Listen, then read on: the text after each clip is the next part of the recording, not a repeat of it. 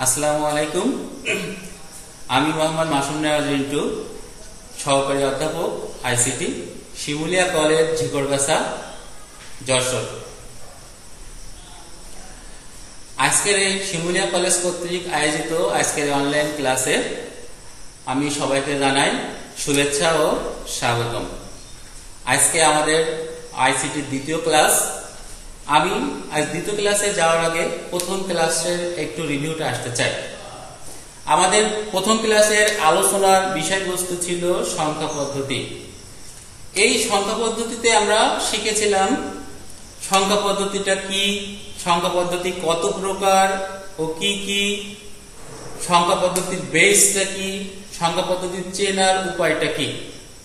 এখন সেই জায়গা থেকে যে আমরা বিভিন্ন সংখ্যা পদ্ধতির যে প্রকারভেদে গিয়েছিলাম, সেখানে আমরা উপস্থাপনার উপর ভিত্তি করে সেখানে দেখানো হয়েছিল যে সংখ্যা পদ্ধতি মূলত দুই প্রকার। একটা হচ্ছে পজিশনাল সংখ্যা পদ্ধতি, আর একটা হচ্ছে নন পজিশনাল সংখ্যা পদ্ধতি। পজিশনাল সংখ্যা পদ্ধতিতে ব্যবহৃত প্রতীকগুলোর পরিবর্তন হয়, আর নন পজিশনাল সংখ্যা পদ্ধতিতে ব্যবহৃত প্রতীকগুলোর কোনো পরিবর্তন হয় না। সেখানে নন পজিশন সরি পজিশনাল সংখ্যা পদ্ধতিতে আমরা আবার প্রকারভেদ করেছিলাম চারটা। একটা ছিল ডেসিমেল বা দশমিক সংখ্যা পদ্ধতি বাইনারি সংখ্যা পদ্ধতি অক্টাল সংখ্যা পদ্ধতি এবং হেক্সাডেসিমেল সংখ্যা পদ্ধতি। এই হেক্সাডেসিমেল সংখ্যা পদ্ধতির কার কয়টা মৌলিক অঙ্ক এবং কার কয়টা ভিক সেটা আমরা জেনেছিলাম। তারপরে আমরা আবার একটু রিভিউতে আসি। ডেসিমেল সংখ্যা পদ্ধতিতে মূলত দশটি মৌলিক চিহ্ন ও অঙ্ক ব্যবহার করা হয়। সেটা হচ্ছে one two three four five six seven eight and nine এই জিরো থেকে নাইন পর্যন্ত টোটাল সংখ্যা হচ্ছে দশটা, তাই ডেসিমেল সংখ্যা পদ্ধতির ভিত হচ্ছে দশ। বাইনারি সংখ্যা পদ্ধতিতে ব্যবহার করা হয় দুইটা মাত্র প্রতীক, সেটা হচ্ছে জিরো এবং অন। তাই বাইনারি সংখ্যা পদ্ধতির ভিতটা হচ্ছে দুই। অক্টাল সংখ্যা পদ্ধতিতে ব্যবহৃত প্রতীকগুলো হচ্ছে জিরো থেকে one, two, three, four, five, six, and seven. Zero থেকে সেভেন পর্যন্ত টোটাল সংখ্যা আট, তাই অক্টাল সংখ্যা পদ্ধতির ভিতটা হচ্ছে আট। হেক্সাডেসিমাল সংখ্যা পদ্ধতিতে ব্যবহৃত প্রতীক হচ্ছে ষোলোটি। সেখানে মৌলিক সংখ্যা শূন্য one two, three, four, five, six, seven, eight, and nine এবং ইংরেজি বর্ণ A, B, C, D, E এবং এফ। এই ছয়টা ইংরেজি বর্ণ মিলে টোটাল ষোলোটি। তাই হেক্সাডেসিমেল সংখ্যা পদ্ধতির ভিত ছিল ষোলো। আজকে আমরা যে ক্লাস করব, সেই ক্লাসের আলোচনার বিষয়বস্তু হচ্ছে যে আমরা সংখ্যা পদ্ধতিটা কি, সংখ্যা পদ্ধতি কোনটা, কোন সংখ্যা, সেটা বুঝেছিলাম। আজকে আমরা আলোচনার বিষয়বস্তু সংখ্যা পদ্ধতির রূপান্তর। কনভার্সন অফ নাম্বার সিস্টেম অর্থাৎ এক সংখ্যা পদ্ধতি থেকে অন্য সংখ্যা পদ্ধতিতে রূপান্তর করাকে বলা হয় সংখ্যা পদ্ধতির রূপান্তর। সাধারণত আমরা হিসাব নিকাশে ডেসিমেল সংখ্যা পদ্ধতি ব্যবহার করে থাকি, কিন্তু কম্পিউটার এবং অন্যান্য ডিজিটাল ইলেকট্রিক সামগ্রীতে বাইনারি সংখ্যা পদ্ধতি ব্যবহৃত হয়। সেজন্য কম্পিউটারের অভ্যন্তরীণ হিসাবাদি করার সময় ডেসিমেল সংখ্যাকে বাইনারিতে রূপান্তর করে নিতে হয়। কম্পিউটারের জন্য বাইনারিতে লেখা প্রোগ্রাম, অক্টাল ও হেক্সাডেসিমেল সংখ্যায় প্রকাশ করা হয়। কারণ, বাইনারি সংখ্যায় লিখলে যে বিশাল আকার ধারণ করত, তাকেই সংক্ষিপ্ত আকারে প্রকাশ করার জন্য অক্টাল ও হেক্সাডেসিমেল সংখ্যা ব্যবহার করা হয়। মূলত ডেসিমেলের পাশাপাশি এই বাইনারি অক্টাল বা হেক্সাডেসিমেলের প্রভৃতি পদ্ধতিগুলো কম্পিউটার প্রোগ্রামার প্রকৌশলী, ব্যবহারকারীদের সুবিধা দিতেই তৈরি হয়েছে। তাহলে আমরা বুঝলাম যে আমরা এই যে সংখ্যা পদ্ধতির রূপান্তরটা কেন করব, আর এই সংখ্যা পদ্ধতির রূপান্তরটা করার ক্ষেত্রে আমরা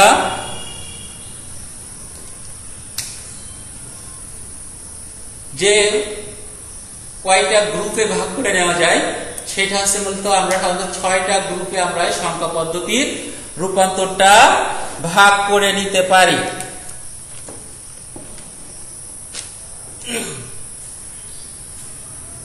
তাহলে আমরা বলছি যে সংখ্যা পদ্ধতি রূপান্তরকে আমরা মোট ছয়টি গ্রুপে ভাগ করতে পারি। গ্রুপ ওয়ান, দশমিক থেকে বাইনারি, দশমিক থেকে অক্টাল, দশমিক থেকে হেক্সাডেসিমাল। গ্রুপ টু, বাইনারি থেকে দশমিক, অক্টাল থেকে দশমিক, হেক্সাডেসিমাল থেকে দশমিক। গ্রুপ থ্রি, বাইনারি থেকে অক্টাল, বাইনারি থেকে হেক্সাডেসিমাল। গ্রুপ চার অক্টাল থেকে বাইনারি হেক্সাডেসিমাল থেকে বাইনারি। গ্রুপ পাঁচ, অক্টাল থেকে হেক্সাডেসিমেল গ্রুপ ছয় হেক্সাডেসিমেল থেকে অক্টাল। তাহলে আমরা এই যে সংখ্যা পদ্ধতি রূপান্তরটাকে আমরা মূলত ছয়টা ভাগে ভাগ করছি, আমরা আজকে শিখব গ্রুপ অন দশমিক থেকে বাইনারি, দশমিক থেকে অক্টাল আর দশমিক থেকে হেক্সাডেসিমেল সংখ্যা পদ্ধতি। আমরা একটু বোর্ডের দিকে খেয়াল করি।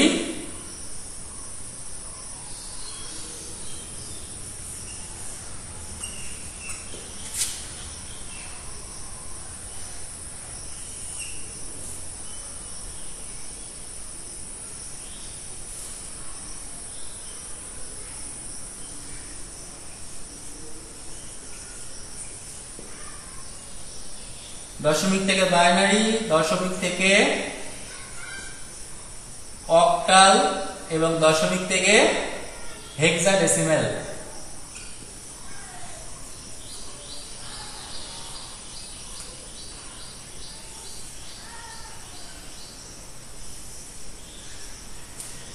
এখন আমাদের আসতে হবে এই যে আমরা দশমিক থেকে বিভিন্ন আসছে বিভিন্ন সংখ্যা পদ্ধতি রূপান্তরে আসব। সেক্ষেত্রে আমাদের রুলসটা কি? দশমিক থেকে আমরা যখন কোন সংখ্যা পদ্ধতি রূপান্তরে আসব, আমরা যে সংখ্যা পদ্ধতি রূপান্তরে আসব, সেই সংখ্যা পদ্ধতির যে বেসটা, এই বেসটাকে পূর্ণ সংখ্যার ক্ষেত্রে দুই দিয়ে ভাগ করতে করতে আসতে হবে যতক্ষণ না পর্যন্ত অবশিষ্ট জিরো হবে। এবং এই যে আমরা দুই দিয়ে ভাগ করতে করতে নামবো নামার সময় যখন কোনো অবশিষ্ট থাকবে না, সেক্ষেত্রে ডান পাশে চলে যাবে জিরো এবং যখন কোনো অবশিষ্ট থাকবে, তখন সেটা ডান পাশে সেই সংখ্যাটা চলে যাবে যে কত অবশিষ্ট থাকছে। এবং ভগ্নাংশ সংখ্যার ক্ষেত্রে আমরা পূর্ণ সংখ্যার ক্ষেত্রে যেমন দুই দিয়ে ভাগ করতে করতে নেমেছি এবং ভগ্নাংশ সংখ্যার ক্ষেত্রে আমরা যেটা করব, সেটা হচ্ছে দুই দিয়ে গুণ করতে করতে নামবো। যতক্ষণ না পর্যন্ত পূর্ণ সংখ্যা আসবে। এবং পূর্ণ সংখ্যা আসার পরে আমাদের মোটামুটি কার্য শেষ হবে। এখন দেখা যাচ্ছে ভগ্নাংশ করার সময় প্রথমে আমার পূর্ণ সংখ্যা এসে গেল এবং দেখা যাচ্ছে ভগ্নাংশ ঘরে এসে গেল জিরো। তাহলে দেখা যাচ্ছে কি আমার কাজ ওখানে শেষ হয়ে যাবে। কারণ জিরোর সাথে আমি যেটাই গুণ করব না কেন, সেটাই আমার ফল আসবে জিরো। তাই আমরা এবার চলে যাব অঙ্কের ভিতরে। আমাদের প্রথমে আমরা আসব দশমিক থেকে বাইনারি।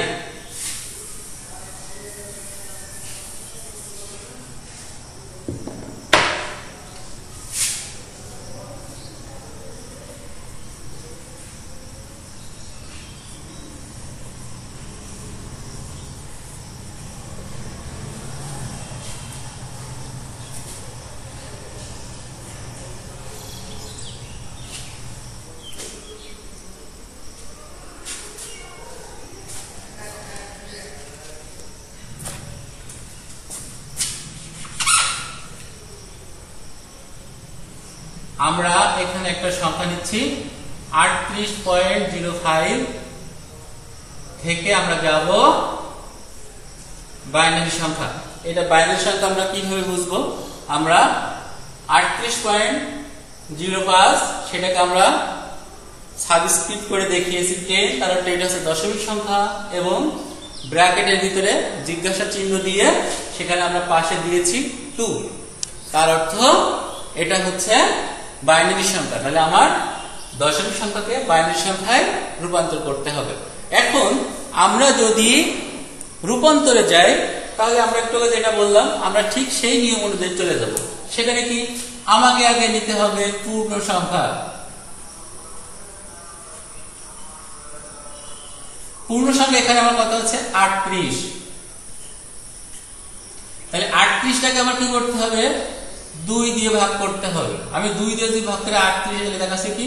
উনিশ দুগুণ আটত্রিশ। এইবার উনিশ গুণ আটত্রিশ আমার মিলে গেল। তাহলে এখানে কি পুরো অবশিষ্ট থাকল? আমার কোনো অবশিষ্ট থাকল না। যখন আমার কোনো অবশিষ্ট থাকবে না, তখন ডান পাশে হবে জিরো। এবার আমি আসব দ্বিতীয় স্টেপ মানে যতক্ষণ পর্যন্ত আমার ভাগ শেষ জিরো না হবে, ততক্ষণ পর্যন্ত আমি অঙ্ক এইভাবে করতে থাকব।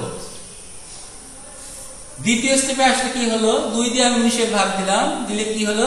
দুই উনিশের ভিতরে কয়বার যায়?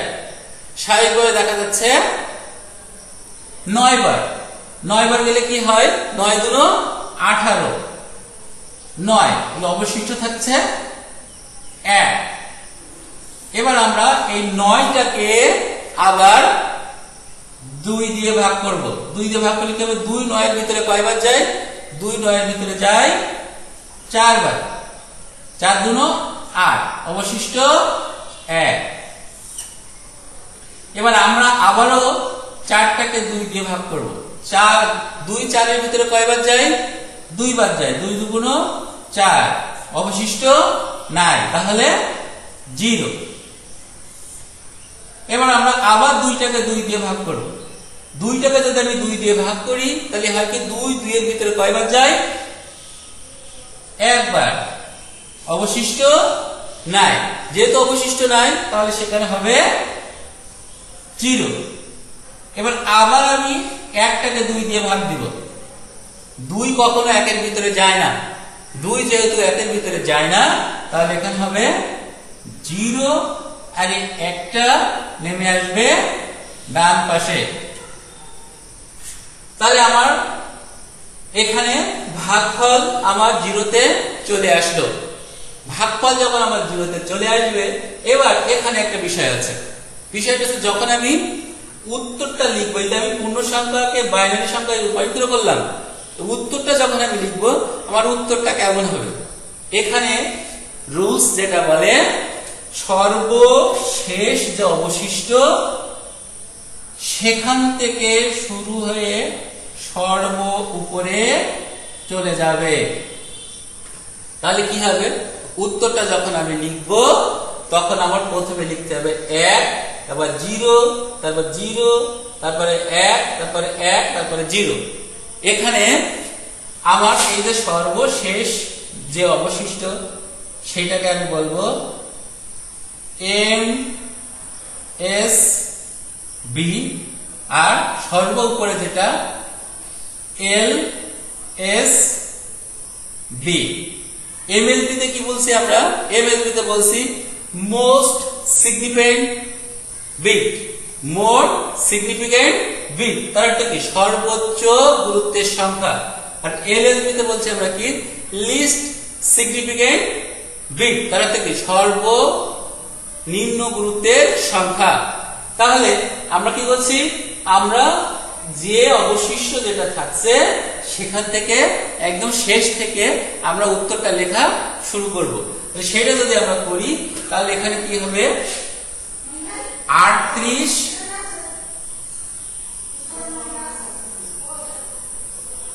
বাইনারি সংখ্যা equal to zero one zero zero one one zero.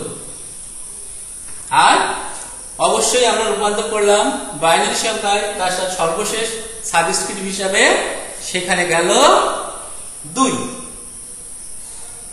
তাহলে এবার আমরা চলে আসব কোথায়? আমরা চলে আসব ভগ্নাংশ সংখ্যার ক্ষেত্রে।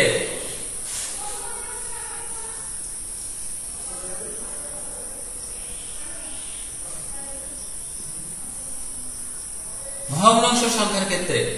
ভগ্নাংশ সংখ্যা আমার আছে কত?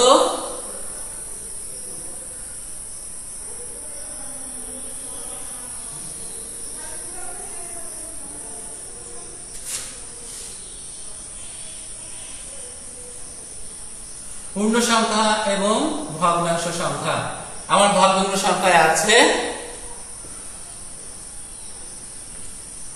ভগ্নাংশ সংখ্যায় আছে পয়েন্ট জিরো ফাইভ।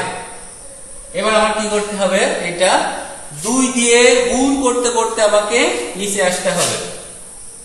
গুণ দুই। দুই যদি আমি গুণ করি, তাহলে আমার হয় কত? সেখানে পাঁচ গুণ দশ। দশ। আর দুইয়ের সাথে জিরো গুণ করলে তো সেটা স্বাভাবিকভাবে জিরো হয়। তাহলে আমার দুইয়ের, দুইটা সংখ্যার আগে আমার ভগ্নাংশ আছে। তাহলে সেই ক্ষেত্রে আমার এখানে হবে জিরো। যার কোনো পূর্ণ সংখ্যা নাই। এবার এটাকে আমি আবারও দুই দিয়ে গুণ করব। গুণ দুই। দুই শূন্য শূন্য দুই একে দুই। ভগ্নাংশ এখানে পূর্ণ সংখ্যা আসছে না। তাহলে পূর্ণ সংখ্যার ক্ষেত্রে জিরো। আবারও আমি দুই দিয়ে গুণ করব। দুই দিয়ে যদি আমি গুণ করি, দুই শূন্য শূন্য, দুই দুন চার। তাহলে আমার এখানে পূর্ণ সংখ্যা আসছে না। তাহলে পূর্ণ সংখ্যার ঘর জিরো। আমি আবারও এটাকে দুই দিয়ে গুণ করব। দুই দিয়ে যদি গুণ করি, তাহলে সেক্ষেত্রে আমার হবে দুই শূন্য শূন্য আর চার দুন আট।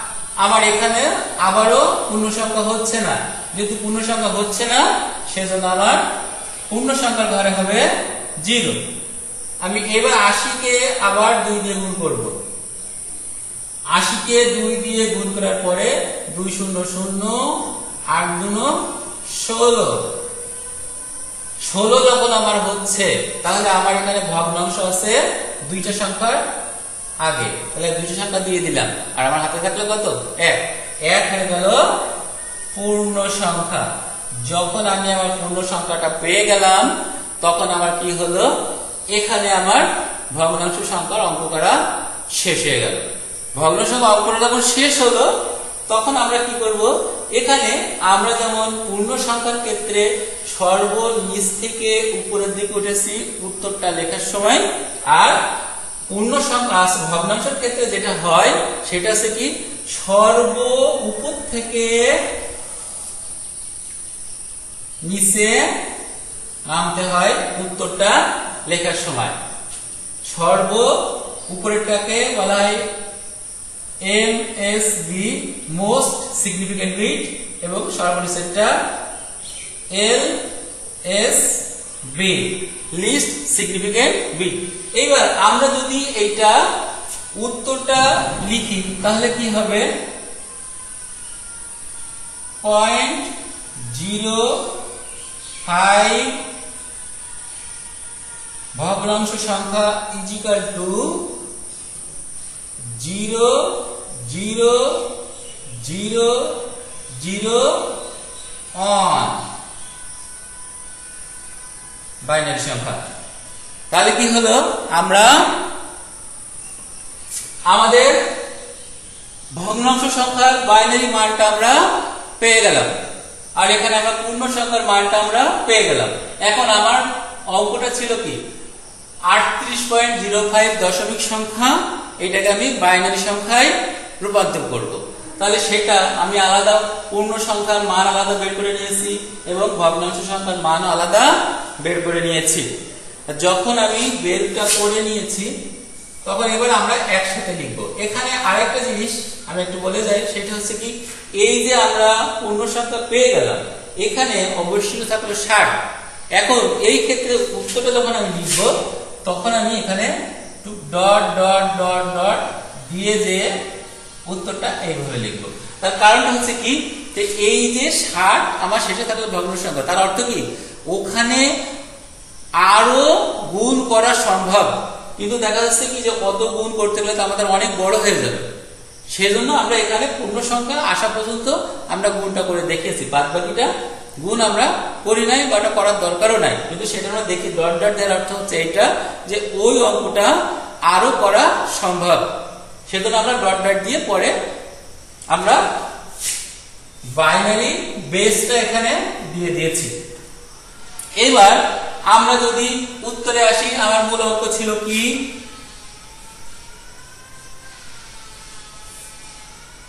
আটত্রিশ পয়েন্ট জিরো ফাইভ দশমিক সংখ্যা equal to one zero zero one one zero. ভগ্নাংশ zero zero zero zero one first bracket close তাহলে আমাদের কি হলো? আমরা আটত্রিশ পয়েন্ট জিরো ফাইভ দশমিক সংখ্যাকে বাইরের সাথে রূপান্তর করেছি, আমরা দুই ভাগে ভাগ করে নিয়েছি। দুই ভাগে ভাগ করে আমাদের যেটা হচ্ছে আটত্রিশ পূর্ণ সংখ্যাটাকে আমরা প্রথমে বাইনারি মান বের করেছি, এবং এরপরে জিরো পয়েন্ট ফাইভ ভগ্নাংশ সংখ্যা আমরা বাইনারি মান বের করে নিয়েছি। মান বের করে নিয়ে আমার উত্তর হচ্ছে one zero zero one one zero point zero zero zero zero one তাহলে আমরা আজকে শিখলাম দশমিক থেকে বাইনারি সংখ্যায় রূপান্তরটা কীভাবে শিখব সেটাই। আশা করি তোমরা বুঝেছ। এরপরে আমরা যাব দশমিক থেকে অক্টাল সংখ্যা পদ্ধতি। নিয়ম সম্পূর্ণটা এক। এখানে আমরা ঠিক পূর্ণ সংখ্যার ক্ষেত্রে যেভাবে করেছি, ভগ্নাংশ সংখ্যার ক্ষেত্রে যেভাবে করেছি, অক্টালের ক্ষেত্রেও আমরা ঠিক হুবহু সেইভাবেই করব। আমরা চলে যাই আমাদের সংখ্যায়। তাহলে আমি এটা মুছে দিলাম, দিয়ে আমি এবার চলে যাই দশমিক থেকে অক্টাল।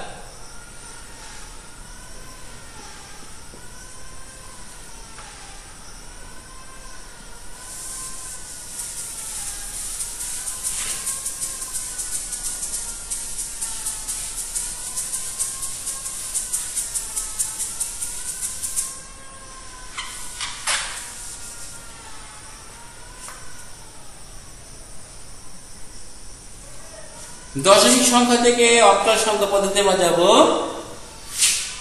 আমি একটা সংখ্যা নিয়ে নিই, একশো পঁচাত্তর পয়েন্ট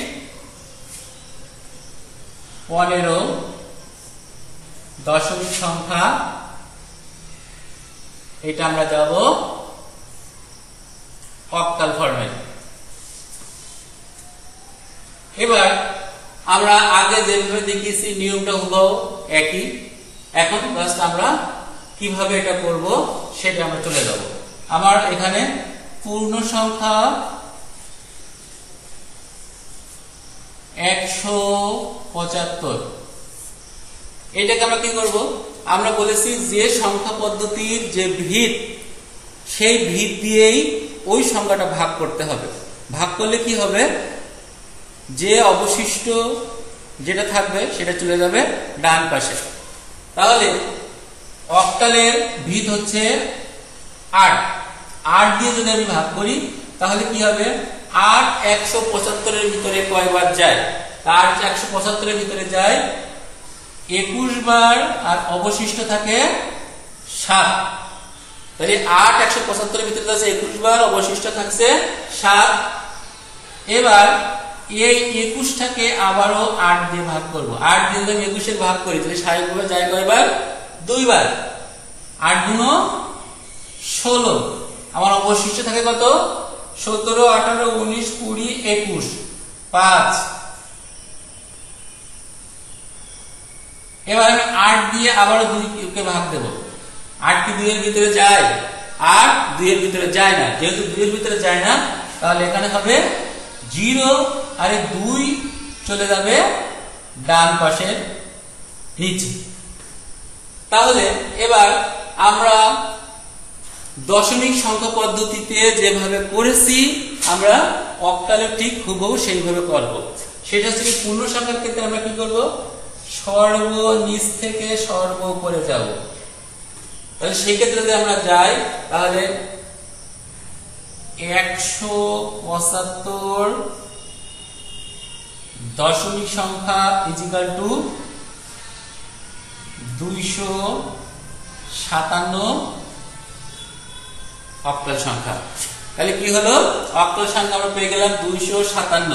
এবার আমরা আসব কোথায়? ভগ্নাংশের ক্ষেত্রে। ভগ্নাংশে কি আছে? ভগ্নাংশ আছে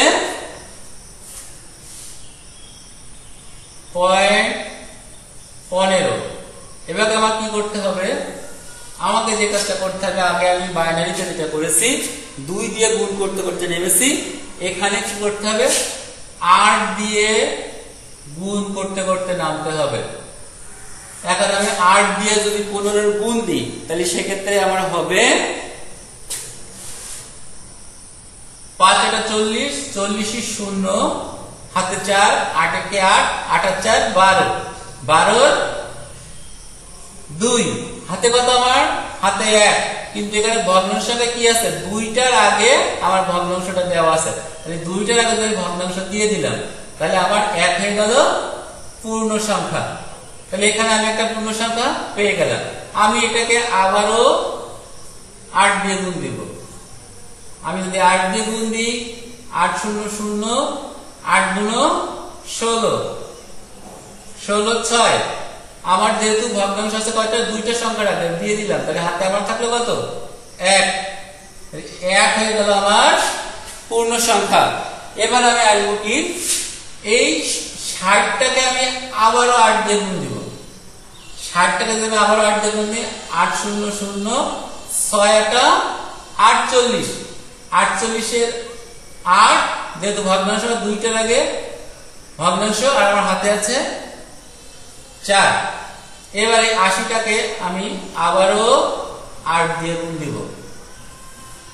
আট শূন্য শূন্য, আট আটা চৌষট্টি।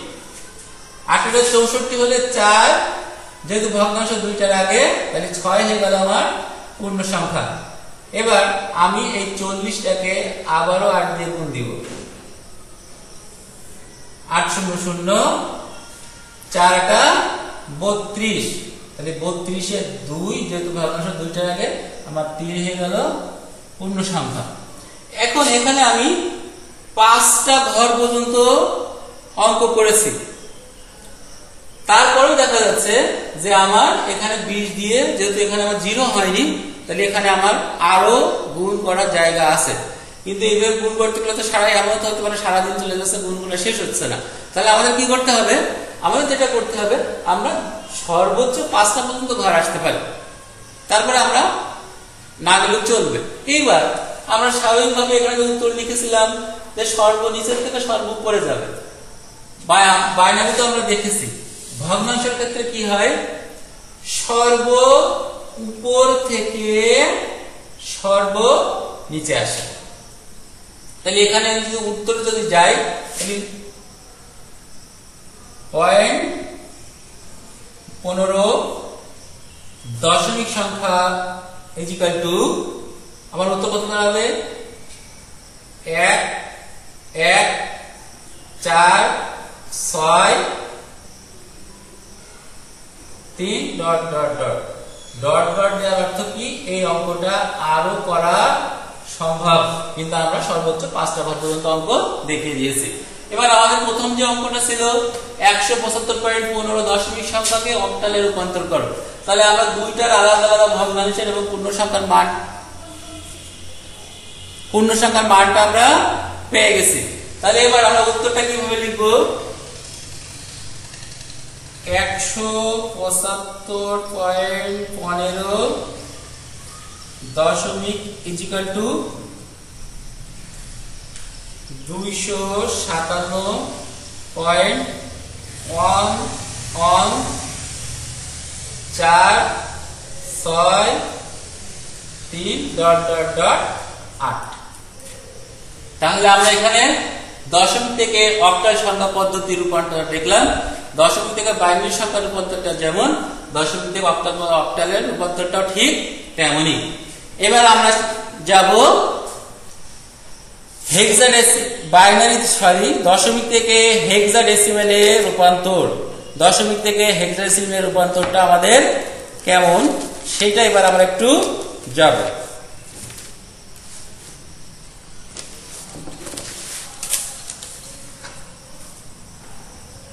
তাহলে আমি দশমিক থেকে অক্টাল, এটা আমি মুছে দিলাম।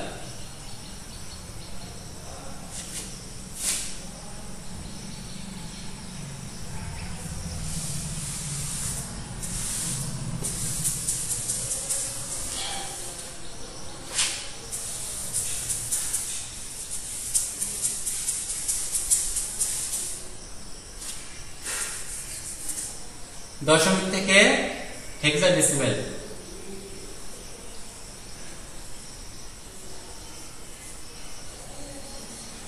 হেক্সাডেসিমেল সংখ্যা। তাহলে এখানে আমাদেরকে একটা দশমিক সংখ্যা নিতে হবে। আমি দশমিক সংখ্যাটা নিয়ে নিই। দুই, চার, সাত, নয় পয়েন্ট জিরো, ফাইভ জিরো। এই দশমিক সংখ্যাটাকে আমরা রূপান্তর করব হেক্সাডেসিমেল সংখ্যা পদ্ধতি। এবার আমরা এখানে যদি সেই হুবহু আমরা দশমিক থেকে বাইনারিটা যেমন করেছিলাম, দশমিক থেকে অক্টাল যেমন করেছিলাম, দশমিক থেকে হেক্সাডেসিমেল ঠিক সেই একই রকম। তাহলে আমরা এখানে আসি। দুই, চার সাত, নয়, ভাগ ষোলো।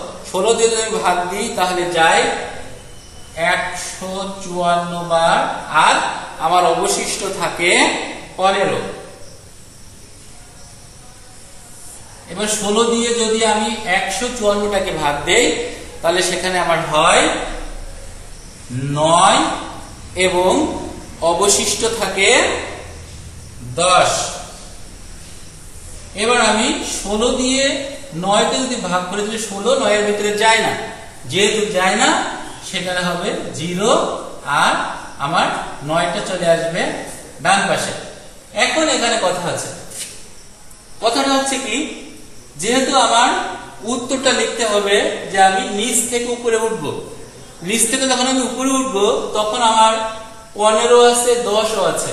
তাহলে আমি রূপান্তর করছি হেক্সাডেসিমেলে কিন্তু হেক্সাডেসিমেলে আমার যে সংখ্যা পদ্ধতি আমরা জানি সেখানে জিরো থেকে নয় পর্যন্ত আছে এবং এ থেকে এফ পর্যন্ত আছে। আমি বিগত ক্লাসে এ থেকে এফ পর্যন্ত একটা নাম্বারিং করে দিয়েছিলাম। সেই নাম্বারিং যদি আমরা আসি, তাহলে স্বাভাবিকভাবে আমরা টেন হয় কি? A equal to ten B equal to eleven A equal যদি টেন হয়। তাহলে টেনের মান দাঁড়াচ্ছে হেক্সাডেসিমেলে এ তাহলে এবার আমাকে আসতে হবে পনেরোর মানে। পনেরোর মানে যদি আমি যদি আসি, এ যদি A ten, B eleven, C twelve, D thirteen, E fourteen, F fifteen. তাহলে এখানে হচ্ছে কি আমার? Fifteen F. তাহলে এবার যদি আমি উত্তরটা লিখি কি হবে? আমার সর্বনিচ থেকে উপরে যাবে। তাহলে এখানে আমার উত্তরটা আসবে কি? দুই, চার, সাত, নয় দশমিক সংখ্যা equal to nine A F hexadecimal সংখ্যা। এবার আমি আসব আমার পূর্ণ সংখ্যার ক্ষেত্রে। সরি ভগ্ন সংখ্যার ক্ষেত্রে। ভগ্ন সংখ্যা কি? পয়েন্ট ফাইভ জিরো এটাকে আমি কি করব? গুণ করব? ষোলো দিয়ে। আমি যদি ষোলো দিয়ে গুণ করি, সেক্ষেত্রে হবে কি? ষোলো শূন্য শূন্য, পাঁচ ষোলো আশি। আশি শূন্য, যেহেতু আমার দুইটার আগে ভগ্নাংশ, তাহলে আমার পূর্ণ সংখ্যা কত? আট। আমি যেহেতু একটা গুণেই আমার পূর্ণ সংখ্যা পেয়ে গেলাম এবং ভগ্নাংশ হয়ে গেল আমার জিরো তাহলে এখানে আমার উত্তরটা হবে কি? পয়েন্ট ফাইভ জিরো দশমিক সংখ্যা ইজিক্যাল টু পয়েন্ট এইট ষোলো। এবার আমি উত্তরটা যদি লিখি, দুই, চার, সাত, নয় পয়েন্ট ফাইভ জিরো দশমিক সংখ্যা ইজিক্যাল টু নয়, এ এফ পয়েন্ট এইট তাহলে আমি আমার উত্তরটা পেয়ে গেলাম। তাহলে আমরা আমাদের আজকের ক্লাসে আমরা শিখলাম সংখ্যা পদ্ধতির রূপান্তর কনভার্সন অফ নাম্বার সিস্টেম এই নাম্বার সিস্টেমে আমরা যে ছয়টা গ্রুপে ভাগ করতে চাই, সেই ছয়টা গ্রুপের প্রথম গ্রুপ দশমিক থেকে বাইনারি, দশমিক থেকে অক্টাল, দশমিক থেকে হেক্সাডেসিমেল, যে রূপান্তরটা কীভাবে করতে হয়, পূর্ণ সংখ্যার ক্ষেত্রে এবং ভগ্নাংশ সংখ্যার ক্ষেত্রে। সেটা আমরা আজকে এই তিনটা পদ্ধতি আমরা শিখলাম। আশা করি তোমরা অঙ্ক বুঝতে পেরেছ।